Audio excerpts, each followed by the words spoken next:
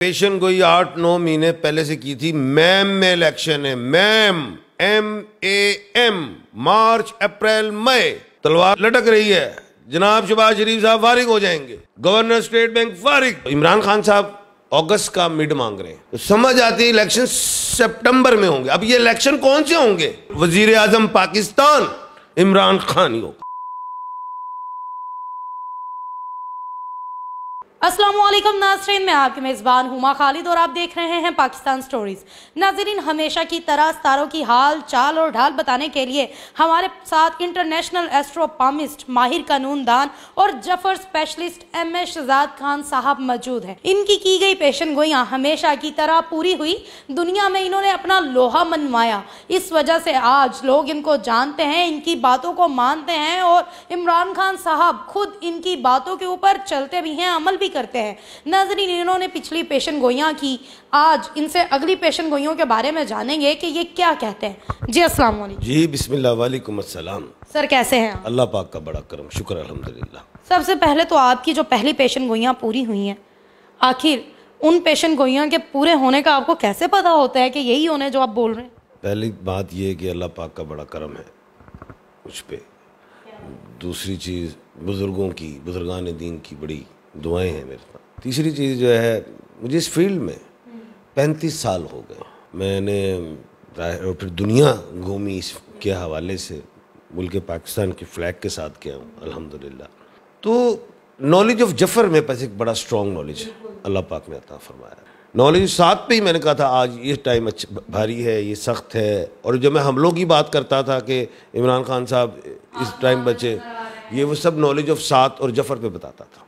खैर पेशन गोइयाँ जो आपको अभी जो अभी हर महीने मेरी आठ, दस, पंद्रह पेशन गोइयाँ हो रही हैं, मुकम्मल हो रही हैं। एक भी स्लिप नहीं हुई। मैंने ये कहा था कि जो है, ईद के प्रोग्राम में आपको कहा था कि मुजाकरात जारी रहेंगे, इलेक्शन होंगे। ये बात याद है?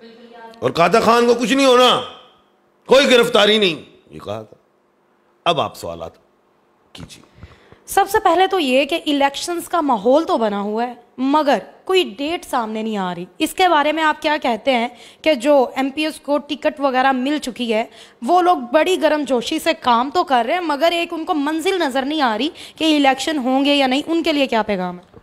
देखिए, मैंने पेशन कोई आठ नौ महीने पहले से की थी। मैम में इलेक्शन है। मैम एम ए एम मार्च, अप्रैल, मई।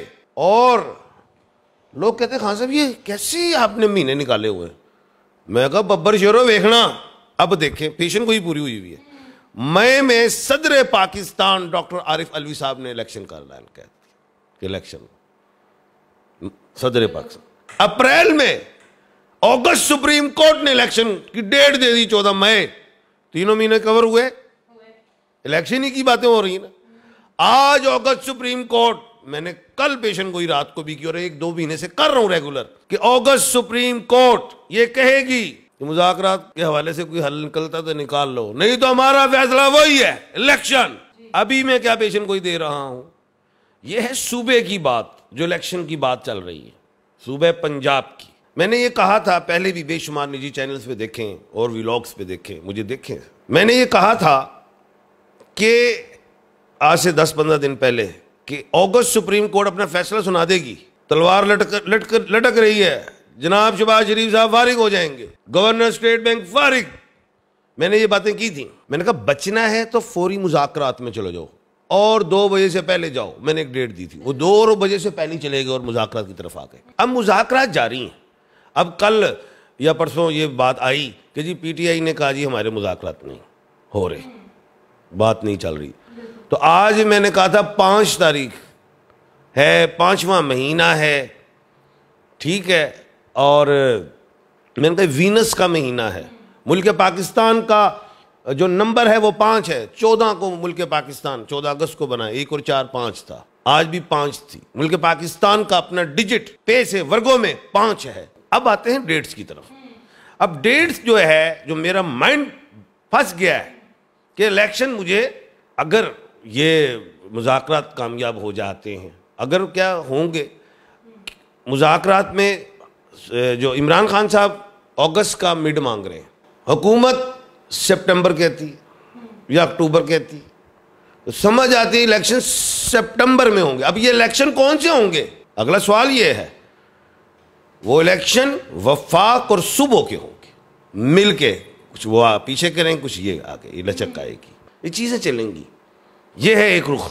और इस रुख में मुल्क पाकिस्तान की आवाम भी इसमें फ़ायदा मिलेगा। ये जो अदम इसकाम है, ओवरसीज़ पाकिस्तानी परेशान हैं, मुल्क पाकिस्तान के लोग परेशान हैं। ये बेहतरी आएगी। अब एक चीज़ और है नेगेटिव ज़ाहिर है, तेरह जमातें हैं। वो तेरह जमातें इतनी आसानी से तो नहीं इलेक्शन की तरफ़ पाँच, सात, आठ जमातें मान जाएँगी, एक, दो जमातें नहीं, लड़ना है। क्या? लड़ना है। पहले ये बता दूँ, तेरह जो होती है ना एक तेरह, इसमें खान जब आ जाएगा ना पीटीआई तो ये बातें कितनी होगी? चौदह। तो मुल्क पाकिस्तान चौदह अगस्त चौदह अगस्त को बना। और बात भी हो रही है चौदह मई वाली। तो खैर, ये बात खान के मिलने से मुल्क चलता है। एक बात, मुल्क के लिए सोचना चाहिए, और मैं तो ये समझता हूँ कि आज मेरे, आज भी मैंने, कल भी कहा था कि अगस्त सुप्रीम कोर्ट यही कहेगी कि मुल्क के लिए बैठ जाओ तो ये बात आगे चलेगी। लेकिन इसमें एक ड्रामा कहते हैं ना, कोई बंदे लड़ाई की तरह अगर जाने जाना चाहेंगे तो वो लड़ाई ये है, ताकि लंबा हो अक्टूबर क्रॉस हो, आगे वो ये। तो लेकिन खैर, पेशन गोई मैंने दे दी है सितंबर अक्टूबर बेहतरीन इलेक्शन का टाइम है, जिसमें सितंबर में मैं ज़्यादा मज़बूत हूँ। जी। और वज़ीर अजम पाकिस्तान, इमरान खान ही होगा। इनशाला इमरान खान साहब और उनके जयाले इम्पोर्टेड हुकूमत नामंजूर के बहुत नारे लगाते हैं। मगर आज इमरान खान साहब खुद अमेरिका के साथ हाथ मिलाने को फिर रहे हैं। अब क्या लगता है कि वो बंदा जिसके साथ कौम की उम्मीदें वाबस्ता थी, जो हमारा एक मसीहा बना था, अब वो जब अमेरिका के साथ मिलने की कोशिश कर रहे हैं तो क्या आवाम अब भी उसका साथ देगी? या इमरान खान साहब का ये जो कदम है, ये किस तरफ़ लेकर जा रहा है हमें? देखो बात यह है कि खान साहब ने क्या ये कहा कि हम आपसे ताल्लुकात नहीं रखते? अमेरिका को क्या कहा? कोई ऐसी बात नहीं उन्होंने की। क्या इंटरनेशनल जो ताल्लुकात होते हैं मुल्कों से क्या हम ख़त्म करके कोई बंदा अकेला रह सकता है? क्या हमारे बच्चे क्या हमारे ब्यूरोक्रेट के बच्चे या सियासतदानों के बच्चे हमारे सब बच्चे क्या अमेरिका में नहीं है मगरब में नहीं है? क्या वापस आ गए हैं? तो दोस्ती तो रखनी है। और कोई बात होती है कि दो तीन मुल्कों में कोई बातें अगर आपस में कोई हो रही हैं कॉन्ट्रैक्ट भी होते हैं, नहीं भी होते, बात कोई ख़त्म हो जाती नहीं जी, हम ये बात नहीं मानते जी, हम ये बात मान लेते। तो ये तो चलता है, ये तो घर में भी होता है। अब क्या है वो, अगर हमने वो बात नहीं मानी तो हमारे ताल्लुक खत्म हो गए, या हमने हाथ नहीं मिलाना? हाथ तो सारी ज़िंदगी तमाम मुल्कों से मिला के रखना चाहिए। जी। खान साहब, अमरीका का जो यार है, वो गद्दार है, ये एक ट्रेंड बना ट्रेंड चला। आज इमरान खान साहब जब इलेक्शंस करीब हैं तो अमेरिका के साथ हाथ मिला रहे हैं। क्या ये कोई साजिश तो नहीं? नहीं ऐसी कोई बात नहीं है। मैंने आपको कहा है कि अगर हिंदुस्तान से भी हमारे हालात ख़राब होते तो दोस्ती नहीं हो जाती। फिर बेहतर नहीं हो जाता। इसी तरह ही है। क्या आज ईरान और सऊदिया अरब एक नहीं है? बड़ी लड़ाई हो रही। सर आपने हिंदुस्तान की बात की तो बिलावल साहब आजकल सुर्खियों में काफ़ी आए हुए हैं कि वो एक कॉन्फ्रेंस में गए और इंडियन मीडिया ये कहने पर मजबूर हो गई कि अब बिलावल साहब यहाँ पर मांगने के लिए पाकिस्तान आया इस बारे में क्या कहेंगे? बड़ी छोटी बात की है हिंदुस्तान ने। सार्क कंट्रीज़ कौन थे? उनकी अपनी एक कॉन्फ्रेंस होती है ममालिक हैं सार्क में, यानी कि पाकिस्तान है इंडिया है, बांग्लादेश है। श्रीलंका है। अफ़गानिस्तान भी मेरे ख्याल से सार्क में आ गया। पहले सात थे, मेरे ख्याल अब आठ हो गए हुए। तो भाई, ये तो कॉन्फ्रेंस होती हैं। हर मुल्क में, इन आठों में इनका नंबर है, उनका नंबर है तो आना जाना होता है। सार्क के मेंबर्स होते हैं आपस तो वो सार्क में गए हैं। वो इंडिया में नहीं गए हैं। वो सार्क में गए हैं। अब इंडिया का नंबर था तो उसमें आ गए। कल को पाकिस्तान का नंबर है, सार्क का था हमारा। तो उसमें आए नहीं। एक दो तीन वो हमारा नंबर भी आ जाएगा। तो सब में सार्क में तो होता है। उसमें आपस में बात करें तो बड़ी छोटी बात की है हिंदुस्तान। इमरान खान साहब ने इलेक्शंस के आते ही जो अपनी एमपीएस की टिकट्स हैं वो यंग कुछ लोगों को भी दी हैं। आखिर इमरान खान साहब का ये कदम क्यों है? उन्होंने यंग लोगों को क्यों टिकट्स दी जबकि प्रोफेशनल लोग भी बैठे थे? मोरूसी सियासत ख़त्म करने के लिए। तो न्यू जनरेशन आनी चाहिए। मोरूसी सियासत ख़त्म होनी चाहिए। खान ने बड़ा अच्छा कदम किया। नौजवानों को आना चाहिए आगे हमारे मुल्क को चलाना कि इन्होंने आगे हम तो चले जाएंगे तो ये आए समझें और खान का होमवर्क बड़ा अच्छा है स्ट्रांग है आठ महीने से उसने होमवर्क किया है मुनहरिफ कौन थे कौन हो सकते हैं अब ऐसी बातें आएंगी जब टिकटें बच गई ओ उस्मान पार्क खाली हो गया जी वो चले गए ਉਹ ਜਾਣੇ ਵਾਲੇ ਤੋਂ ਅੱਛਾ ਹੈ ਜਿਹੜਾ ਪਾਰਟੀ ਦੇ ਵਿੱਚ ਰਹਿ ਕੇ ਕੱਲ ਨਸ ਜਾਵੇ ਚੰਗਾ ਨਹੀਂ ਨਸ ਜਾਵੇ खान का होमवर्क मजबूत बेहतरीन जी। जो तब्दीली सत्तर साल से ना आई क्या आपको लगता है कि खान साहब यहाँ उनके ये यंग जनरेशन जो एमपीएस बनने वाले हैं वो ले आएँगे? देखो बेटा बात ये है कि मेरा एक इख्तलाफ रहा है अक्सर।